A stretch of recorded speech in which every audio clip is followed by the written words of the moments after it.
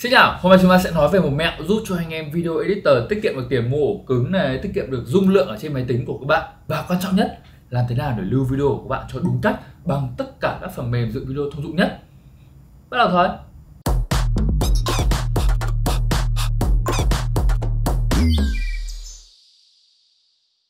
Rồi nếu như anh em có một cái thói quen là sau khi dựng video xong ấy anh em sẽ copy tất cả file video copy vào folder xong rồi cất folder đi thì ờ, xin lỗi anh em nhé tốn tiền mua cứng lắm. Hôm nay mình sẽ chỉ cho anh em một cách mà chúng ta có thể lưu những cái project mà anh em dựng, chỉ dùng những cái file mà anh em dùng ở trong video thôi. Lúc này cái dung lượng của project sau khi anh em dựng xong ấy, nó sẽ nhỏ đi rất là nhiều. Anh em có thể copy đi, copy lại, không sợ bị mỗi lần mở lên là chúng ta phải link lại file. Đầu tiên chúng ta sẽ đến với Premiere, phần mềm dựng video thông dụng nhất cho anh em. Rồi ở đây là một cái project rất bình thường mà sau khi anh em dựng video xong anh em sẽ có, đúng không? Bây giờ mình sẽ chỉ cho anh em cất cái project này đi như thế nào thì đầu tiên anh em à, sẽ phải đi vào file. Project Manager. Anh em sẽ chọn hết những cái sequence mà anh em đã dựng. Điểm quan trọng nhất mà anh em cần click ở đây đó chính là click vào cái phần Exclude Unused Clip ở đây. Nếu anh em không chọn đây thì tất cả những cái footage mà anh em cho trong project của Premiere ấy, nó sẽ được copy hết ra folder. Còn với mình sau khi một cái project này đã dựng xong rồi mình chỉ cần lưu lại những cái video mà mình dùng ở trong cái clip ấy thôi.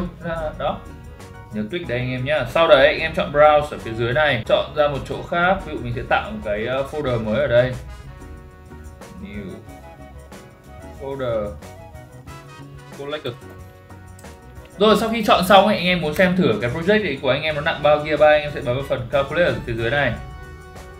Em có thể thấy ở đây là project này ta lưu sẽ hết 46,92 GB lúc này thì anh em chỉ cần bấm thôi ok và rồi xong chúng ta chỉ cần ngồi đợi máy copy thôi. Lúc này tất cả những file mà anh em cần, ví dụ như là file project của Premiere này, những cái file clip mà anh em dùng này sẽ copy hết ra folder. Lúc này anh em có thể lấy folder đấy và cất đi. Thế là xong. Phần mềm đầu tiên, chúng ta sẽ đến phần mềm tiếp theo đó chính là DaVinci. Là nào để lưu project ở trong DaVinci anh em nhé. Rồi, tiếp theo đến với DaVinci thì ở trên phần mềm này một lần nữa khá là thông minh.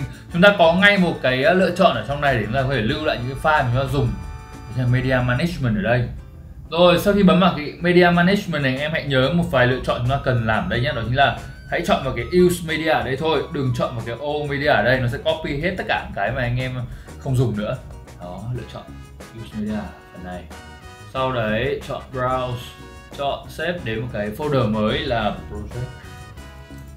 Đã dựng xong. Create open. Thế là xong thì anh em đã có thể copy nó đã tính luôn cho anh em ở đây rồi là 2,31 GB dành cho cả project này. Em có thể chuyển sang phần timeline ở đây. Nếu anh em muốn copy từng cái timeline một ở trong project của anh em sang cái folder kia. Còn không thì cứ để entire project ở đây. Sau đó chọn start. Đó đợi một chút thôi. Xong rồi. Phải kịp đợi Ờ, uh, DaVinci đã copy hết tất cả cái file mà chúng ta dùng trong project này sang một folder khác. Lúc này anh em đã có cái folder chứa tất cả những file mà anh em dùng anh em có thể dùng thoải mái folder này mở project đóng project thoải mái trên tất cả máy tính khác đưa cho người khác làm. Không bao giờ bị giật lag thiếu file gì hết rồi đến với phần mềm mà bực mình nhất đó chính là Final Cut Pro. Ở trên Final Cut Pro thì mọi người đều feedback với mình là ừ, phần mềm này nó rất là mượt ờ, dựng không hề bị giật lag gì hết. Nhưng đánh đổi lại việc đấy đó chính là cái file dựng thì rất là to anh em ạ. Vậy bây giờ mình sẽ chỉ cho anh em cách để lưu cái file dựng này nhé ở đây chúng ta đang có project mà trước đây mình đã dựng xong rồi. Bây giờ muốn lưu này lại thì rất tiếc ở trên Final Cut Pro mình chưa tìm được cái tính năng Project Manager như ở trên Premiere hay là trên DaVinci Bây giờ anh em nào biết thì comment dưới mình biết về nhé mình sẽ làm thủ công như này đây, mình sẽ phải tạo ra một cái library mới. Mình đặt tên cái library này là project đã dựng xong. Rồi, ok. Lưu nó vào đây. Sau khi lưu xong ấy, mình sẽ đi vào trong cái library vừa rồi. Mình tạo ra một cái project mới. Chuột phải new project này. Rồi để tên là cái gì cũng được, không phải quá quan trọng. Ở trong project này, chúng ta sẽ có cái timeline trống, không có cái gì. Việc tiếp theo các bạn cần làm sẽ là quay lại project cũ. Sau đấy, comment a này, comment c, copy chuyển sang cái project mà các bạn vừa mới làm ra. Đưa con chuột xuống đây và paste nó ra ở dưới này thôi. Rồi sau khi paste xong, các bạn sẽ đi lên cái library mà các bạn vừa mới tạo ra, chuột phải chọn consolidate library media. Lúc này các bạn sẽ chỉ chọn cái original media ở đây thôi, không chọn cái optimize và proxy media ở phía dưới. Bấm ok. Thế là xong, tất cả những cái clip mà các bạn dùng ấy đã được copy sang project mới và cho vào timeline mới. Tuy nhiên đến đây chưa phải là xong nhé tại vì uh, Final Cut sẽ tạo ra rất nhiều kiểu file render để cho các bạn dựng nó đỡ giật lag. Vậy nên các bạn phải đi vào cái project các bạn vừa mới copy ra. Đây chính là cái project đã dựng xong ở đây.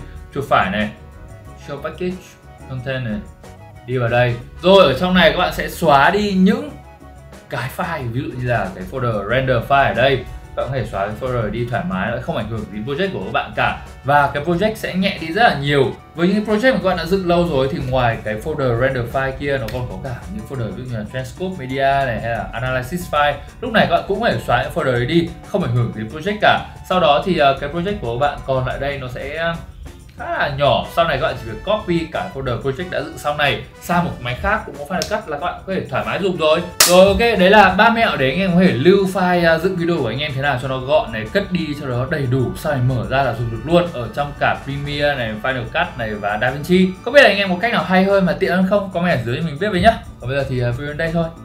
Bye bye.